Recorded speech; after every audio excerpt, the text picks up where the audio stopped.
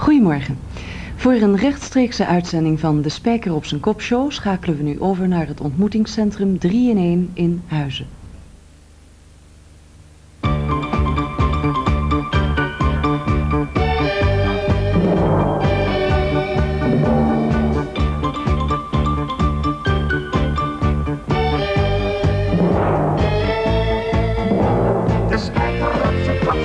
De spijker op zijn kop show.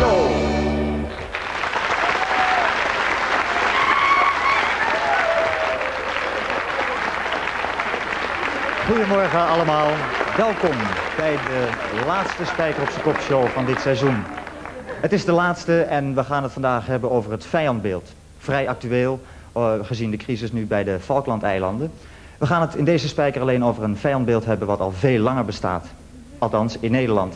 Want de gemiddelde Nederlander, en dat is gebleken uit enquêtes, heeft eigenlijk maar één grote vijand en dat zijn de Russen.